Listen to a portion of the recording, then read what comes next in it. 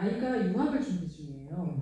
어, 미국과 유럽의 학교의 가장 큰 차이는 무엇일까요? 저는 개인적으로 유럽이 마음이 더 가기는 하는데 라면서 질문을 주셨어요. 아, 저는 사실 그걸 확실하게 뭐 말씀드리는 게 전 유럽에서 학교를 다녀본 적이 없어요. 근데 거기서 이제 페스티벌을 몇번 다녀봤고 거기서 연주를 해봤지만 제일 큰 차이점은 유럽에서 더 쉽게 많은 사람들이 arts, 클래식 음악을 사랑하는 문화를 찾을 수 있는 게 장점인 것 같아요.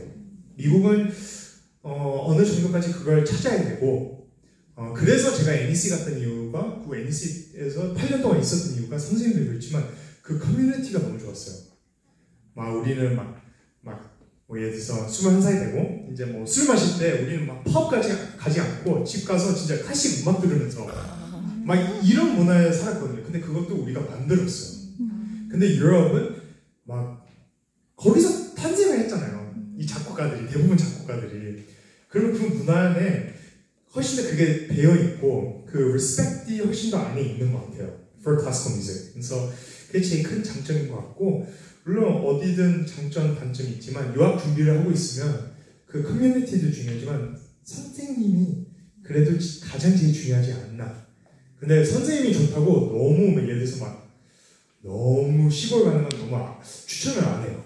네, 왜냐면 왜냐면 학생으로서 공연을 많이 봐야 되고 뭐 다양한 걸 많이 봐야 되는데 막 미술관도 가야 되고 이런 걸 해야 되는데 그건 아무래도 시내면 좀 그런 게 많아서 근데 대부분 음악 학교들이 다 시내에 있어서 근데 네. 그러면은 어, NEC에서 공부를 아, 예, 죄송해요. 잠시만요. 아, 맞아. NEC에서 공부를 하셨는데 그 선생님 질문이 안 그래도 어떤 분이 주셨어요. 그 도널드 왈러스타인 교수님 외에 몇 분에게 들으셨잖아요. 근데 그 학교를 결정하실 때 선생님을 먼저 보고 결정을 하신 건가요? 네, 저는 사실 이렇게 엄청 늦게 결정해서 저는 어떤 선생님이 누군지 잘 몰랐어요. 근데 제가 이제 딱 고3 정하고 제가 그때 현악 사진조 하고 있었는데 어딘 제가 이제 마스터 클래스 바로 갔어요. 우리 현악 사진조가.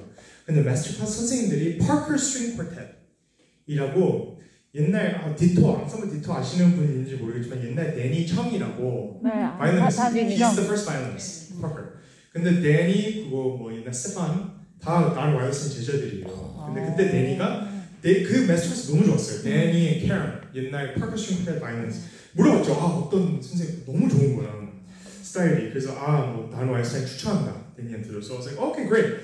그래서 이제 그냥 apply를 하고 난 와이어스타인 같은 경우는 오디션을 하고 이제 조금 이제 좋아해주면 그날 밤에 또 가서 레슨을 받아요. 30분 레슨. 근데 30분 레슨이 막 뭐 technical 이런 게 아니고 그 선생님도 떠보는 거예요.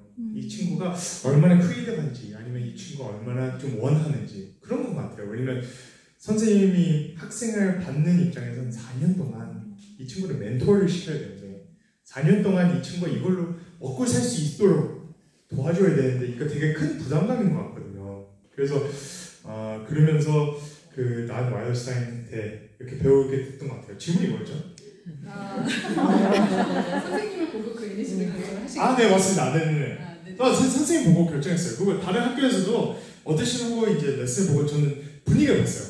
그래서 저는 필라델피아 같은 경우는 필라델피아 학교도 일단 제 부모님 집이랑 너무 가까우니까 close. 뉴욕 같은 경우는 아, too busy. 저는 너무 시끌시끌한 거 너무 시끌시끌한 거안 좋아해요. 근데 버스트는 딱 중간이었어요. 저한테 좀 시내면서도 약간 살짝 유럽피안 느낌도 나고 조용한데도 조용하고 그러면서 선생님이 너무 좋아서 그렇게 가게 됐던 것 같아요. 네.